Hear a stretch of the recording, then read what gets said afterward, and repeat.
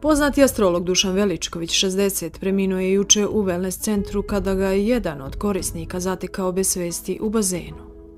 Vest o njegovoj smrti potresla javnost, između ostalog njegovu prijateljicu, Jovanu Jeremić. Poznato je da su voditeljka i astrolog bili dobri prijatelji, da je često gostovao kod nje. Kako kaže, i sama je u šoku zbog ove vesti. Saznala sam još sinoć za to, šokirana sam, bili smo dobri prijatelji. Baš pre neki dan gostovao je kod mene, počela je Jovana i objasnila kako je Veličković umro. Bio je u sauni i samo je umro. Verovatno je u pitanju srce. Imao je problem sa visokim krvnim pritiskom. Znam da je imao problema, kaže Jovana.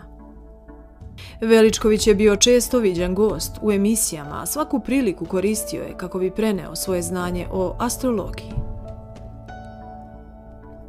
Vest o njegovoj smrti na društvenim mrežama objavila je njegova porodica. Dragi naši prijatelji sa velikom tugom u srcu i duši, obaveštavamo vas da nas je napustio naš voljeni dušan i da je otišao na nebo među svoje zvezde. O mestu i vremenu sahrane ćemo vas naknadno obavestiti. Stoji u saopštenju na njegovoj Facebook stranici. Veličković je juče preminuo u jednom wellness centru. Njega je naime drugi korisnik jednog wellness i spa centra u Beogradu zatekao bez svesti u bazenu. Odmah je alarmirao zaposlene pa je pozvana hitna pomoć. Osim Veličkovićeve porodice oglasio se njegov prijatelj Vuk Đuričić. Brate moj, legendo moja, hvala ti za sve, bio si uvek uz mene i u dobru i u zlu.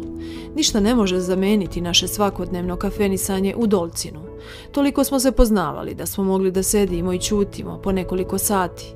Bio si uvek nasmejan, pozitivan, takvog čoveka kao tebe nisam upoznao, a verujem i da ne postoje dva takva čoveka na planeti Zemlji.